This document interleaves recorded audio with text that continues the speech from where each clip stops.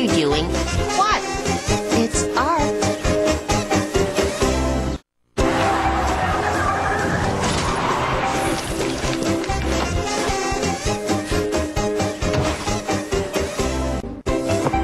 Everyone, gather round.